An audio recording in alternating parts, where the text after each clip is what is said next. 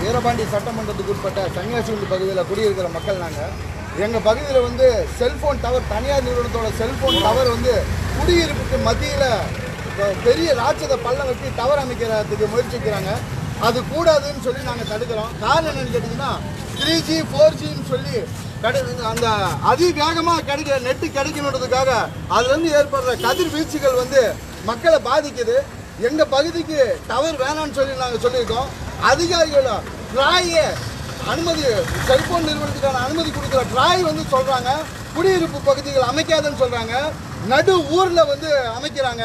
இது வந்து சட்டத்துக்கு மீறா இருக்கு. அதிகாரிகளுக்கு லஞ்சம் கொடுத்ததா அந்த டவர் அமைக்கிற அவரே சொல்றாரு.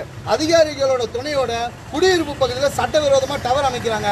அந்த டவர் அமைக்க கூடாதுன்னு மனு கொடுத்துருக்கோம். அதே போல மற்ற எல்லா பகுதியிலையும் குடியிருப்புகள் மிகுந்த இருக்க பகுதியில் இருக்க அந்த டவர்களை எடுக்கணும். அதுக்கு அந்தந்த பகுதி மக்கள் யாரோ ஒருத்தர் வாடகைக்கு ஆசைப்பட்டு விட்டுருந்தா கூட அவங்களுக்கு புரிய வச்சு ஏன்னா இப்போ ஃபோர் ஜி ஃபைவ் ஜின்னு சொல்லி அதிவேக இன்டர்நெட்டுக்காக நிறைய அதிர்கனி க- அது க- கதிர்வீச்சு வருது. அதனால நம்ம குழந்தைங்களுக்கும் முதியோர்களுக்கும் பாதிப்பு ஏற்படும். எல்லா பகுதியில் இருக்க டவரையும் எடுத்து மனித நடமாட்டம் இல்லாத பகுதியில் வச்சுக்க எங்களுக்கு கவலை கிடையாது. எங்கள் பகுதிக்கு டவர் விடக்கூடாதுன்னு எச்சிப்பாளையம் காவல் நிலையத்தில் புகார் கொடுத்துருக்கோம்.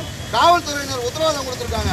டவர் வராது நாங்கள் தடுக்கணும்னு உத்தரவாதம் கொடுத்துருக்கோம். அந்த உத்தரவாதத்தை நம்பி நாங்கள் இப்போ கலைச்சு போகிறோம் கண்டிப்பாக அந்த டவர் பணி தொடர்ந்துச்சுன்னு சொல்லி சொன்னால் ஊர் மக்களை திரட்டிட்டு போய் கலெக்டர் அலுவலகத்தில் குடியேறுவோம்.